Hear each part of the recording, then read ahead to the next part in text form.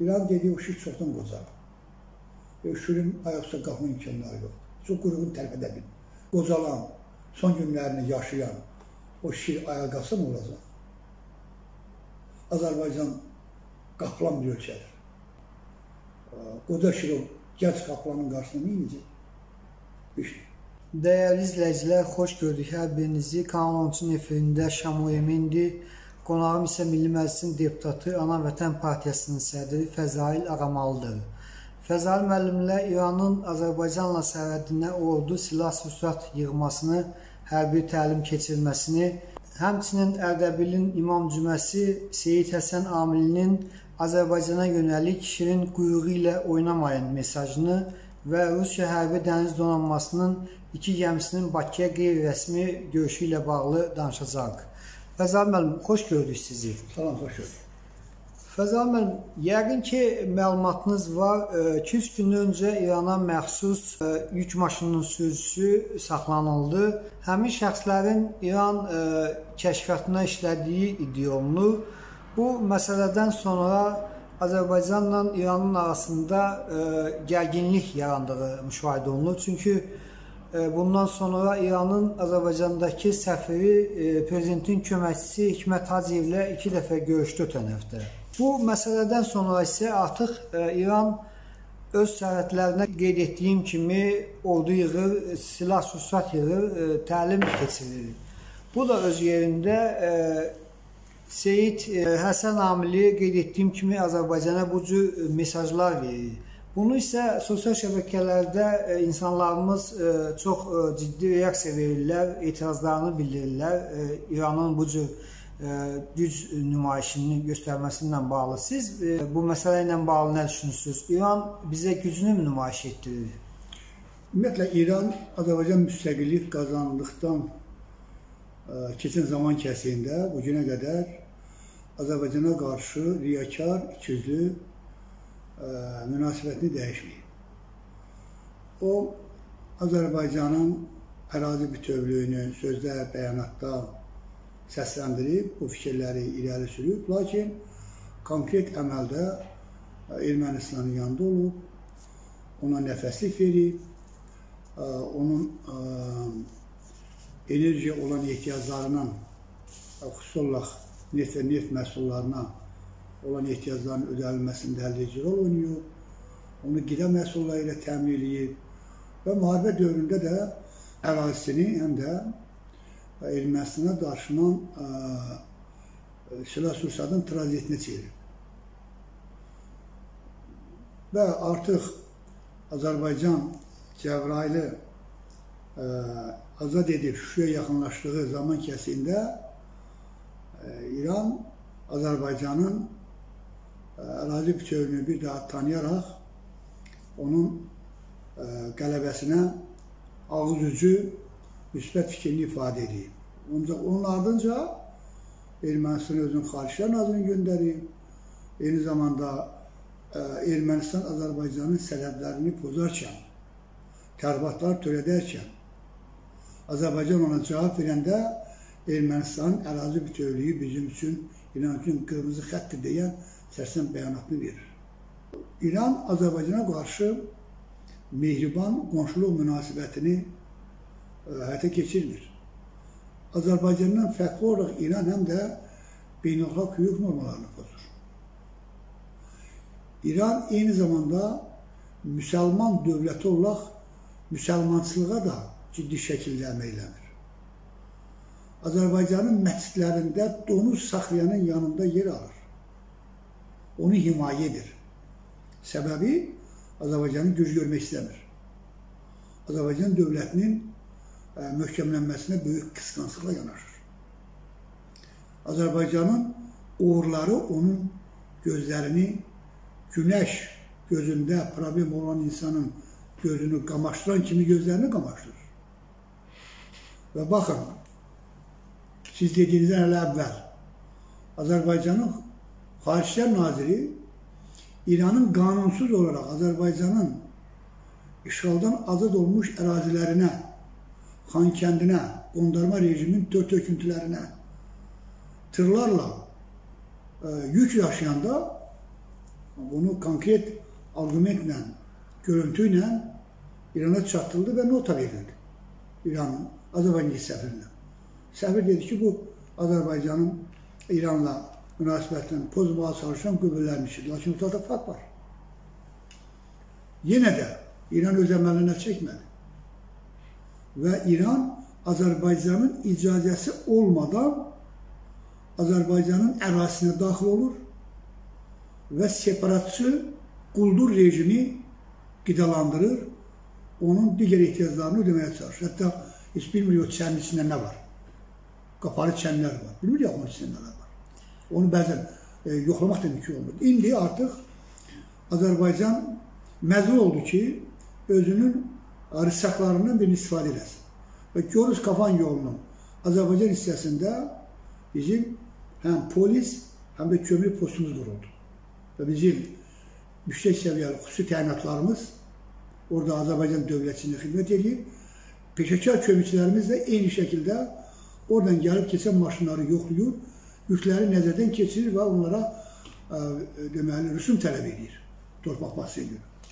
Bu ki, İran əsəbləşirir, qıcıqlandırır, onu narahat edir ki, onun bu özbaşınalığı artıq Azərbaycan dövləti bugün ə, e, öz iradəsini ortalığa qoyur, qətiyyətini nümayiş etdirir.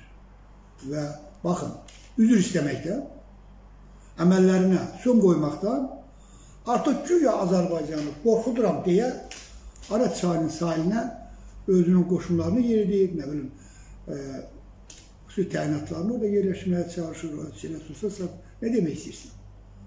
Sən oradan Azərbaycana hücum edəcəksən, Azərbaycan hücum edəcəksən, Azərbaycan cavab verəcək. Bu Azərbaycan zəif dövlət deyil. Və unutmasın ki, 2021-ci ilin iyun ayının 15-də Şuşa şəhərində dünyanın 5-ci güclü dövləti olan və güclü ordusu olan, daha doğrusu, Türkiyə bu Azərbaycanla müttəfiq haqqında sazişin imzalayıb. Və Azərbaycanın təhlükəsizliyi, dövlətçiliyi, ərazisi təhlükə qarşısına qalarsa, Türkiyə dərhal Azərbaycanın yanındadır. Artıq siyasi mənəvi dəstəklə yox. Eyni zamanda özünün hərbi gücü yox. İran ordusu dünyanın ən geridə qalan ordusudur. Bunu mən demirəm. Hərbi ekspertlər deyil. Kölə təyyarələr. Şah rejimi dövründə Amerikadan alınan təyyarələr, Fransadan alınan təyyarələr, onun özünün müasir texnologiyadan ümumiyyətlə hər hansı bir anlayışı yoxdur. Bəzi deyək ki, güc mərkəzlərini Amerikanı güya qorxutmaq üçün müəyyən raketlər zədlər hazırlayır. O raketləri sınağını keçirdir və güya özünün silah arsenalının müasir olduğunu nümayiş etdirməyə çalışır. Amma özü istəyən bizim bəzi ekspertlər İranın çox güclü dövlət olduğunu, İranla belə deyək, silik toxuma oynamamağı məsləhət görürlər. Onlar İran-pərəst insanlardır. Nə oyun oynayırıq biz? İranın maşınlarını Ermənistana buraxmalıyıq. Onlara mən sual verirəm. Neynəməliyik? İran deməli düz edirsə, onlar İranın burada yerləşmiş olduğu agentura şəbəkəsinə daxil olan insanlardırlar. İrana haqq qazandırırlar. Nə oynayırıq biz? İrana deyir ki, Azərbaycanın sənə göstərmiş olduğu səmimi qonşu münasibətlərini sən də bizə eyni şəkildə ə, o, o davranış ortağa qoy. Vaxtilə Amerika Birləşmiş Ştatları ilə İran arasında münasibətlər çox kəsin olanda cənab prezident açıq şəkildə bəyan etdi ki, biz İrana qarşı Azərbaycan arasında üçüncü dövlətin fəaliyyətinə imkan verməyəcəyik. Bunu dedik. Ancaq İran nə edir? Xəzərdə Azərbaycan geoloji kəşfiyyat aparanda özünün gəmilərini, təyyarələrini göndərir. Yəni, Ulu öndərimiz bunun qarşılığında Türkiyə müraciət etdi. Türkiyənin şahinləri yadınıza gəlirsə, Azərbaycanın səmasında, eyni zamanda Xəzər dənizinin üzərində bir neçə dəfə uçuşa keçdilər və dedilər buyur, Türkiyə bizlə bərabərdir. Və yaxud da ki, Azərbaycan Xəzərdən öz sularında təlim keçir, bu başı qısqanclıq göstərməyə ki, sən bunun ixtiyarın yoxdur. Sən kimsən ki, hansı qanunlara görə, hansı beynəlxalq konvensiyalara görə sən bu bəyanatla çıxış edirsən? Ki, Türkiyə burada olmalıdır. Azərbaycan istədiyi ölkə ilə özünün qurusunda da, havasında da, dənizində də təlim keçə bilər. Azərbaycanın müstəsna səlahiyyətidir. Necə ki, quruda bu təlimlər keçir, Türkiyə ilə indi Pakistanla, eyni şəkildə Xəzər dənizində. Eyni zamanda bizim şahinlərimiz Türk şahinləri ilə bərabər e, deməli hava məkanında təlimlər keçirlər. Bu Azərbaycanın müstəsna hüququdur. İndi bundan İran belə qəzəblənir. Rusiya biraz yumuşaq davranır və sadəcə olaraq həm də özünün qeyri-rəsmi elə də gedir ki, dostluq səfərini Azərbaycana ki, yəni mən də burada varam. İki hərbi gəmisini qeyri-rəsmi səfərə Qeyri-rəsmi səfərə, yəni mən də burada varam, gələcəkdə sən bunu nəzərə al. Biz onu həmişə nəzərə alırıq. Biz Türkiyə ilə İrana nisbətən e, müəyyən də dövlətlər arası münasibətlərdə e, e, deyək beynəlxalq uyğun olmağına sökülən münasibətlər qura bilmişik. Bu İranla mümkün deyil. Çünki İran bütün dünya ilə düşməndir. Onun dostları bir dənə ermənidir. E, bax bu cür İranın düşmən olduğunu qeyd edirsiniz Fəzal müəllim. Ancaq e, xatırlayırsınızsa bir neçə ay öncə Şuşaya səfər zamanı İranın e, axundlarından Ocaq Nizati Azərbaycana səfərə gəldi. Şeyx Allah şükür Paşazadə də onunla bir yerdə Şuşaya səfər etdi. O namaz qılarkən arxada dayandı. E, Allah şükür Paşazadə. Ondan sonra isə Azərbaycanın qələbəsinin əsasında İranın fətva verməsini qeyd etdi ki, Xamneyinin fətvası ilə Azərbaycan güya qələbə qazanıb. Və bu cür fikirlər nədən yaranır o zaman? İran biz özünə düşmən hesab edirsə? Yox, əslində heç bir fətvadan söhbət gedə bilməz.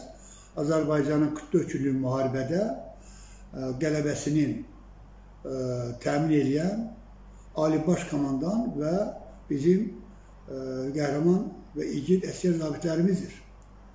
Şəhidlər hesabına, şəhidlərin qanı hesabına həmin 3000-dən yuxarı şəhid verməklə biz o torpaqlarımızı az etdik. Bu qələbənin müəllifi Müzəffər Ali Baş Komandan və onun yaratmış olduğu modern Azərbaycan ordusudur. Burada Xameneyinin hər hansı fətvasının ə, e, bu və ya digər şəkildə yeri və rolu yoxdur. O fətva ilə İran ordusu gəldi Azərbaycana kömək elədi. İran vətəndaşları gəldi Azərbaycana kömək elədi. Biz, bizim soydaşlarımız e, Arad çayının qırağında, Cəbrayil istiqamətində biz gördük ki, biz qələbə çaldıqca onlar da ə, e, Azərbaycan var olsun şüarları ilə çıxış edən əmrlərini göstərdi. Ona görə də ə, bu bu cür ə, yanaşmana doğru deyil və qaldı ki, İrandan bir axundun, bir din xadiminin Azərbaycana gəlişi və Allah Şübhərəzadə ilə Şuşaya getməsi, Ağdamda olması, məsciddə namaz qılması, indi onun arxada qalması, öndə olmasını mən din xadimi deyiləm və bu nə ə, mahiyyət kəsb edilməsi haqqında ə, doğru cavab verməyin bəlkə də çətindir, ancaq düşünürəm ki, Allah Şüzələr özü qabaqda olmalıydı. Çünki bu Azərbaycan torpağı. Bu Azərbaycan ərazisində olan məsciddir.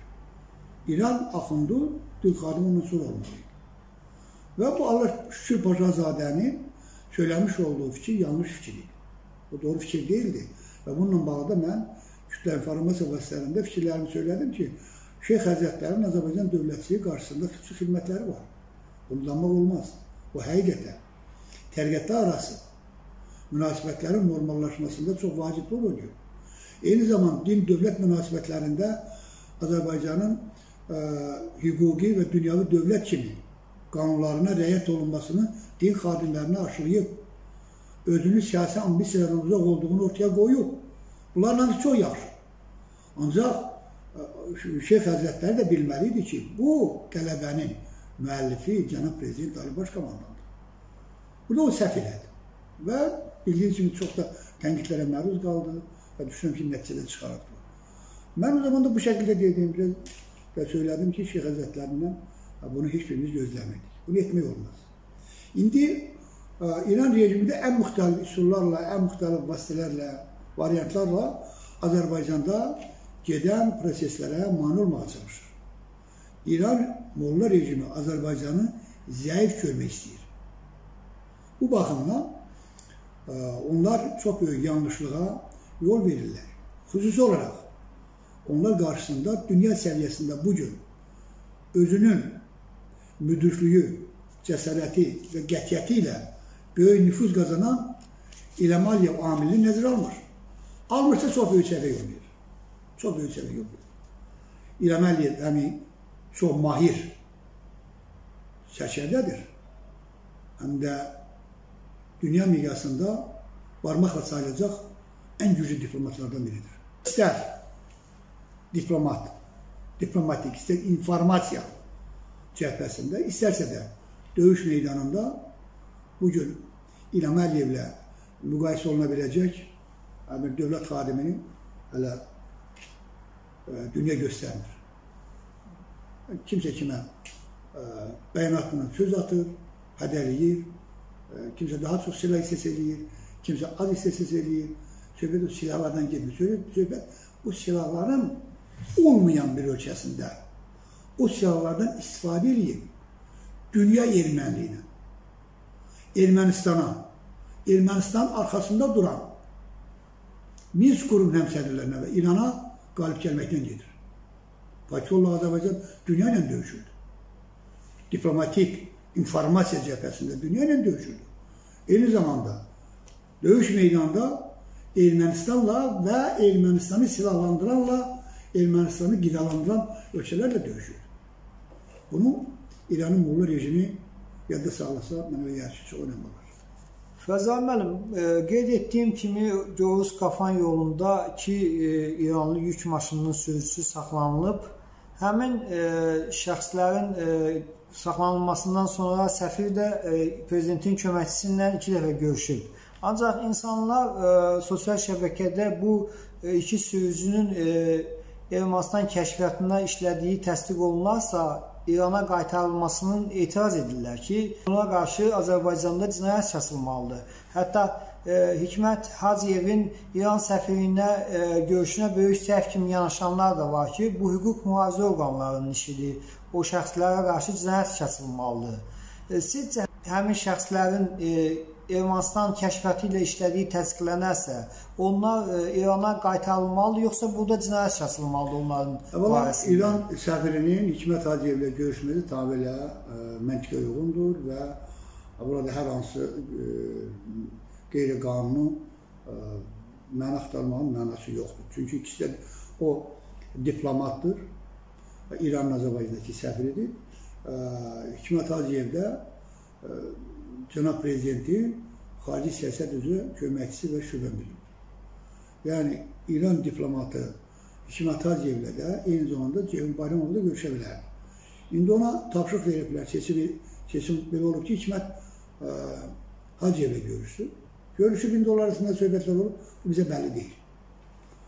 Ə, ikinci, onlar ona görə həbs olundular ki, onların yol vərəqəsində Stapanaket Armeniya yazılmışdı. O müsüzə şərəkələrə getdi. O deməkdir ki, onları bura göndərənlər Xan kəndini Ermənistan kimi tanıyırlar. Bunun özü elə cinayətdir. İndi araşdırma gedir. Ki, bu xərsə, bu yol vərəqəsini kim verib, nə üçün belə yazılıb və ondan sonra məsələlər təbii ki, istinad nəticəsində aydınlaşacaq. Onların ə, İranın xüsusi xidmət orqanlarının əməkdaşı olub-olması haqqında məndə məlumat yoxdur, lakin bunu istisna etmirəm. İstindat nəticəsində bəlli olsa ki, onlar Azərbaycan qanunlarını pozaraq Azərbaycan ərazisində kəşfiyyat işləri ilə məşğul olub, qeyri-qanunun addımlar atıb, onlar təbii ki, Azərbaycan qanunları çərçivəsində istintaqa cəlb olunacaqlar. İstintaqdan sonra artıq bir qayda olaraq bu şeylər belə gələcəkdə dünya praktikasında var ki, onlar sonradan ola bilsin ki, qarşı tərəflə əgər Azərbaycanın da orada kimsə hansısa bir vətəndaşımı, vacib bir personamı tutulubsa, həbs olunubsa, ondan dəyişə bilərlər. Belə bir dünya miqyasında praktika var. Amma gəlin tələsiməyək, istinaqin nəticələrini gözləyək, ondan sonra ə, fikrimizi dəqiqləşdirə bilərik.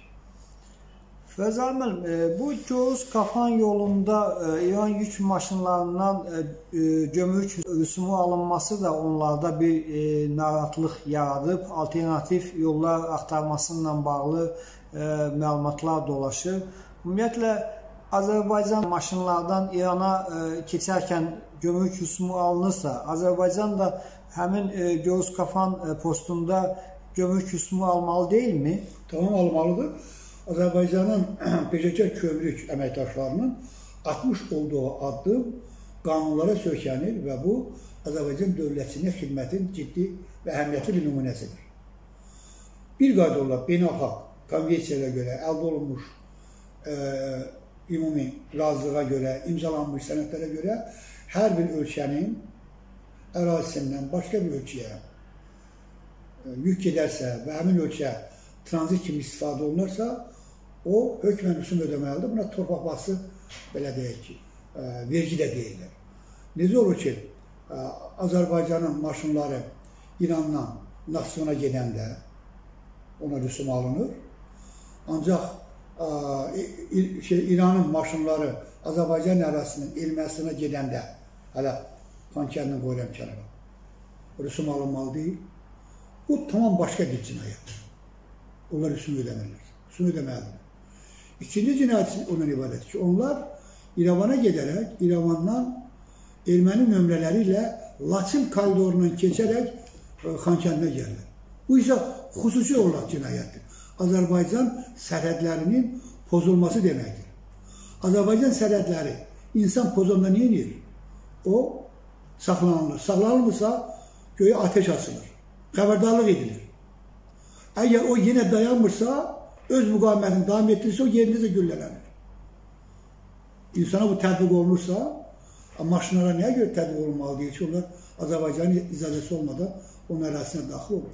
Onun mənə belə gəlir ki, biz tezliklə həm də Laçında e, Rusiyanın sülhməramlı qüvvəyi ilə bərabər, çünki belə bir razılıq var, e, Rusiyanın sülhməramlı qüvvələrinin orada olması. Orada biz Rusiyanın sülhməramlı qüvvəyi ilə bərabər postumuzu quraraq Azərbaycan daxil olan bütün avtomobillərin və insanların e, kimliyini yoxlamalıyıq. Və bir daha tək edirəm. Yük maşınları, istənilən yük maşını, istənilən vətəndaş Azərbaycan ərazisinə daxil olursa, o Azərbaycan icazəsini almalıdır.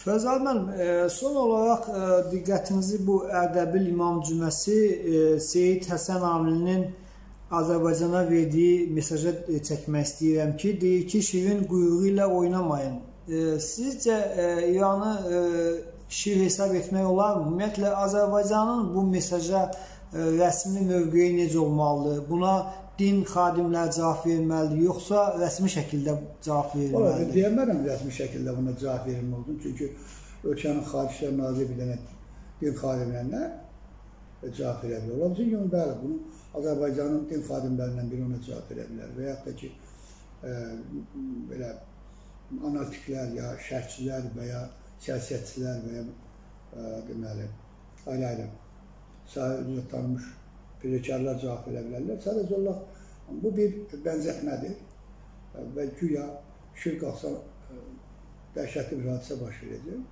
Ancaq İran dediyi o şir çoxdan qocalır. Şirin ayaq üstə qalxma imkanları yoxdur. Çox qurğun tərpədə bilir.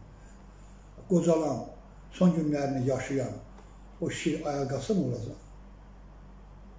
Azərbaycan qaplan bir ölkədir. Qoca şir o gənc qaplanın qarşısında nə edəcək? Bir şey. Yəni bu düşünürəm ki, Ərdəbilli din xadiminə sadəcə onun verdiyi cavabın adekvat cavabı ola bilər. Çox sağ olun Fəzal müəllim, təşəkkür edirəm. Sağ olun.